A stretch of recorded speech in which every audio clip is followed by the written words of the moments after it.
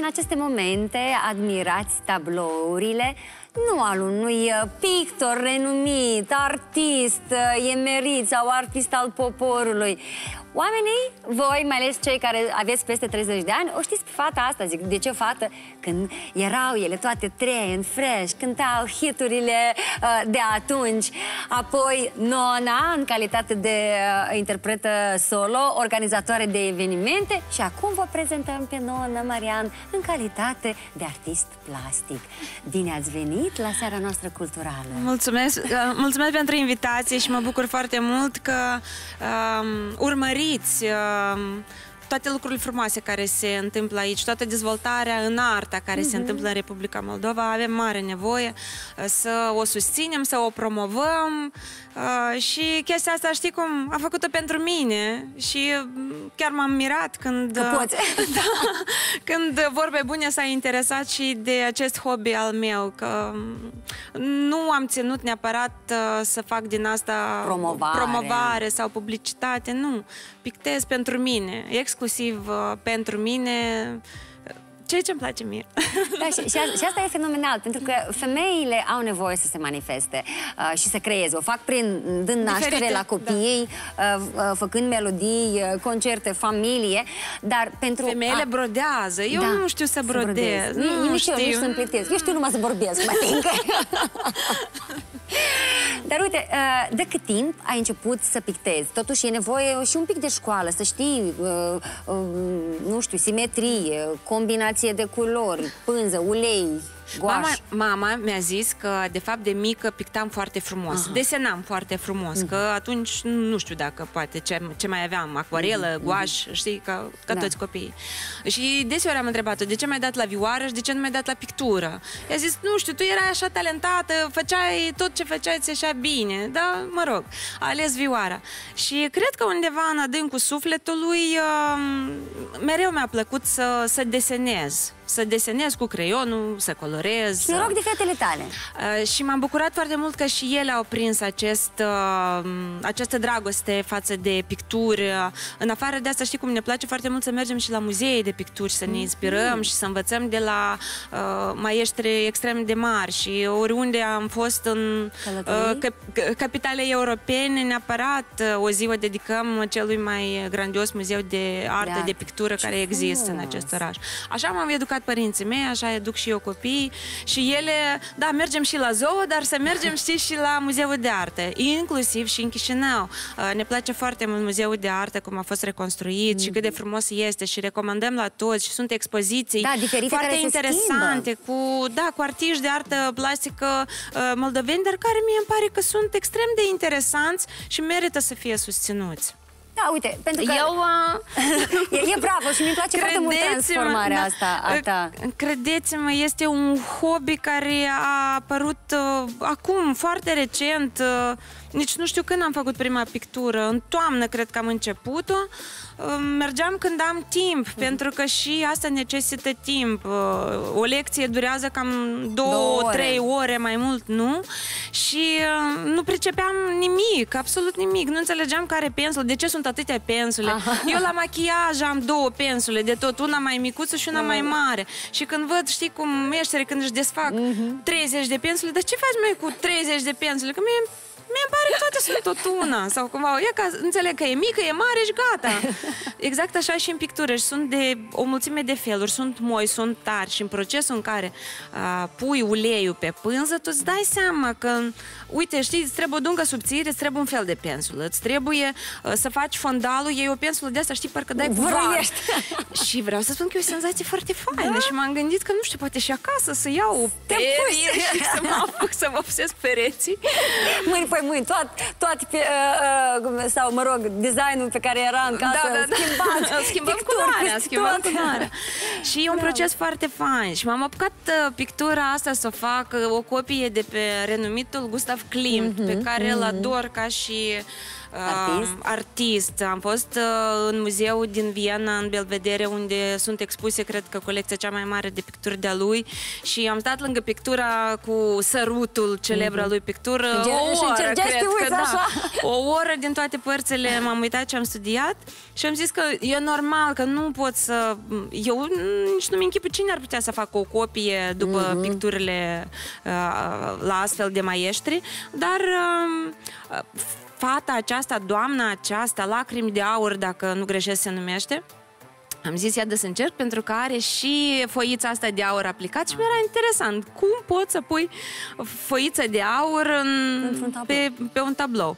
Mai mult decât atât, a fost o experiență nouă și pentru profesoara la care mă duc, uh Cristina Botezatu. Uh, și uh, ne-a reușit până la urmă.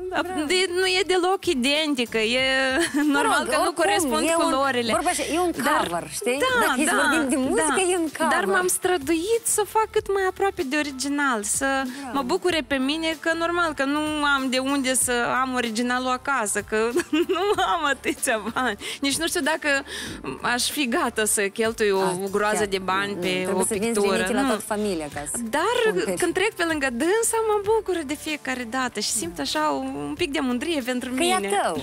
Da, că tu ai muncit. Uh, în, în uh, această direcție, deja spre mine, e, e un tablou E un alt mai, tablou. mai abstract. Abstract. Așa. Și vreau să spun totuși, că vorba abstracție... aia, ce, ai, ce te-ai gândit? Uite, totuși tu vezi ceva aici. Și Da. vezi. Ah, Eu am văzut, uh, nu știu, am văzut... uh, m, Știi, vor, o- știi, știi că la, nu, că la o- o- comentarii la limba română, da, da, de fapt omul și nu a vrut să aibă vederea asta, dar noi și așa, și așa interpretăm. Eu am ales această pictură, pe care iarăși tot așa am găsit-o în internet și mi-am gândit culorile se potrivesc exact după peretele pe care Tu așa ceva ai făcut. Așa am făcut. Știi am că s-ar zis, putea e vii și o la mine. tehnică nouă, da? Superb, superb. Când mă satur de dânsă, ți-o dau. Nu, nu, dar era o Facem perioadă schimb. în care se făceau uh, închiriere de tablouri. Da, Eu fain, te- dar eu te-ai ți dau așa, plictisit? știi cum te plictisești tu de așa, păi o dăm la altcineva. Altcineva. Păi da, arta trebuie să circule. Da, eu tot așa cred, că arta trebuie să circule. Și aici a fost un pic altă tehnică decât la Mhm. portret. Vreau să spun că la portret am un pic de frică, știi? Că îmi pare Totuși, că, da. că o să iasă strâm, că ochiul o să fie mai sus și așa Un pic de parcă lecă. oamenii nu sunt perfecti. Și Da. că nasul, nu, că Da, buzele da. nu se vor primi. Aici e mai leger, aici cum a mers pensula, într-un fel cu cât e mai defect, cu atât Cu e atât mai e mai frumos. perfect. Da, cu atât e mai interesant. Și la urmă, flori, floricelele acestea, sau nu știu, petalele acestea, iarăși din foiță de aur, uh, nașa mea de cununie a zis că ea vede flori de câmp. Da, și mie mi-așa mi se altcineva pare. mi-a, mi-a zis că a văzut uh, un Cosmic fel de ceva. primăvară după ploaie, știi? Aha. Cum se vede, așa când încă e fumuriu, Aha. când încă e ceață. Aha. Fiecare vede ce vrea și mie asta tot Da. mi-a plăcut. Super. Că într-un fel tabloul te oprește să stai, să te gândești, să dezvolți înseamnă fantezia, asta. să-ți apară un gând nou, dar să nu te gândești știi cum numai la Da, a, a, asta e copii, asta. cratițe, casă și soț. și muzică, că mai ai timp și, Și de muzică. asta, hai să ne, să ne și cânti. Să vă și Uh, cânt. Da, pentru că, iată, avem uh, și un alt instrument, nu ai numai pensule de tictat, ai Al meu și... preferat, vreau să-ți spun, stativul pe care să pun microfonul. Da! Bine, vă lăsăm acum în compania None. Iată uh, femeia care reușește să și creeze tablouri, să aibă grijă de familie, să mai organizeze și evenimente și să cânte. Pentru că o femeie vrea să le facă, uh, da, pe toate, nu chiar, dar multe. Și de multe ori le reușește, dacă depun suflet în tot ceea ce fac.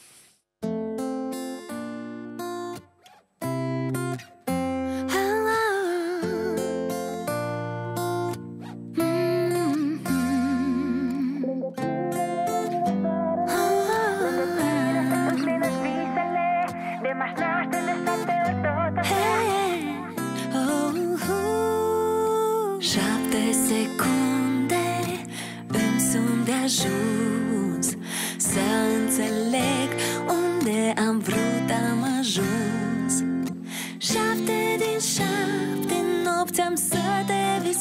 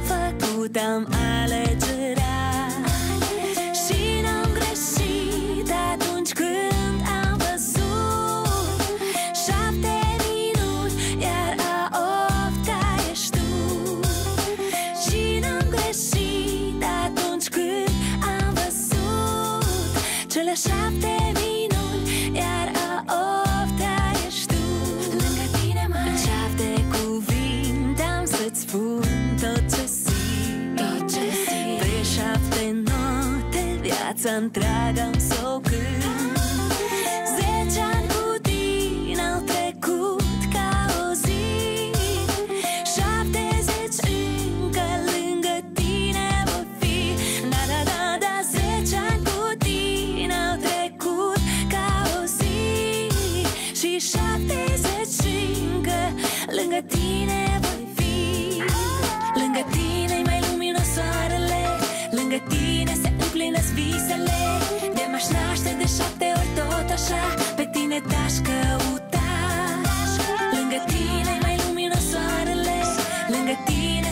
împlinesc visele De m-aș naște de șapte ori tot așa.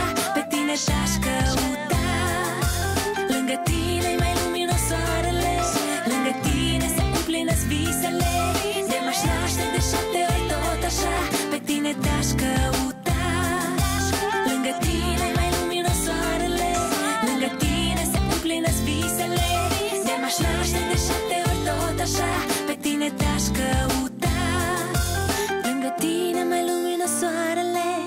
Lângă tine se împlinesc visele. De m-aș naște de șapte ori tot așa. Pe tine te-aș căuta